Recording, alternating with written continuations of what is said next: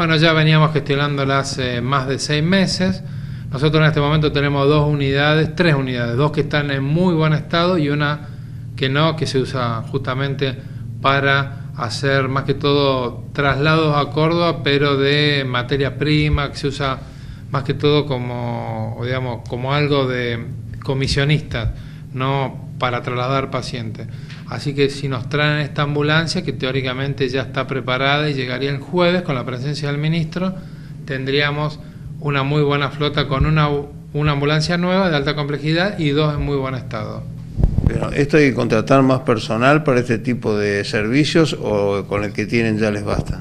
No, porque no cambia el número, eh, lo que cambia es la calidad. Eh, obviamente entregaríamos la que está en un estado de más uso y nos quedaríamos con la nueva y las dos que están en muy buen estado. De esta forma tendríamos por lo menos por cinco años una buena flota de ambulancias de alta complejidad que no nos traería ningún imprevisto, que es lo que más nos preocupa cuando tenemos un paciente en viaje y pueda tener algún desperfecto mecánico.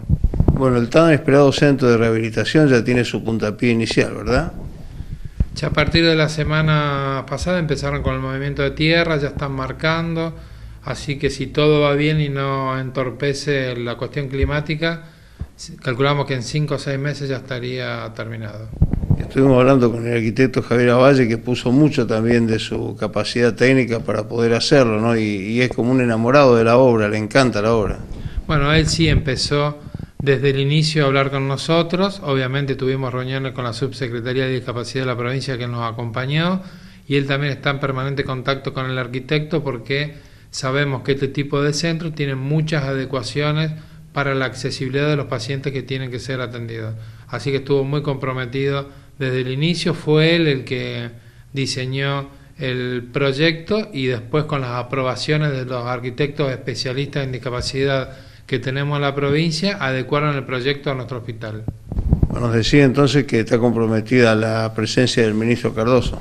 El jueves, teóricamente, a las 11 de la mañana, si no hay un cambio de agenda, vendría a nuestro hospital.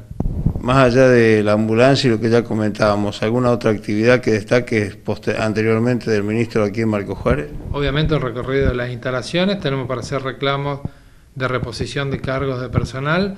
Nosotros desde que estamos ahora en la gestión ya tenemos 29 personas menos en el hospital con más prestaciones. Eso también, obviamente, no es que nos guste tener menos gente porque es menos mano de obra, pero hace que sea más eficiente el trabajo del hospital. También eso tiene que ver con la tecnología que aplicamos, como la digitalización, y en la mayoría de los casos son agentes administrativos. Profesionales, por el contrario, tuvimos un aumento y ahora necesitamos responder los cargos que por jubilaciones o por renuncias o en el caso específico de que nosotros hayamos tenido que bajar el contrato de algún profesional, necesitamos la reposición de esos cargos, así que también vamos a abordar ese tema.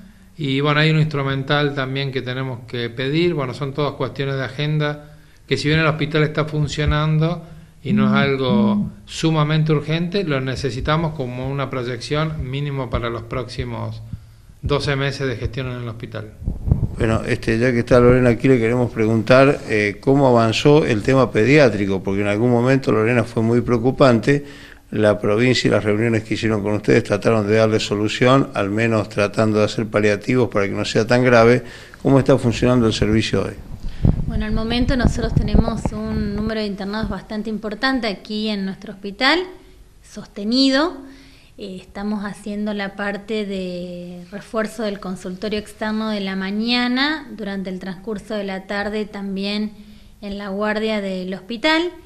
Aparte, la clínica de pediatría está funcionando atendiendo la demanda y la internación y toda la parte de los eventos quirúrgicos pediátricos que son requeridos de, de resolver por la parte de cirugía pediátrica exclusivamente están, bueno, obviamente dándonos el apoyo desde la clínica de pediatría a la provincia, con lo cual, bueno, nos hemos eh, ahorrado, por así decir, eh, la derivación de esos pacientes a localidades fuera de Marco Juárez y bueno, y el caso es resuelto por un, un, cirujano pediátrico también, con lo cual, bueno, hemos logrado una armonía en el trabajo siempre en, en pos del beneficio de los usuarios del sistema de salud. Bueno, se habían jubilado dos profesionales y solamente había ingresado una. Este, ¿Pudieron completar el servicio? Momentáneamente el servicio está funcionando de manera normal y bueno, también como mencionaba Eduardo anteriormente, es uno de los pendientes la baja de personal para conversar con la visita del ministro de Salud a nuestra institución.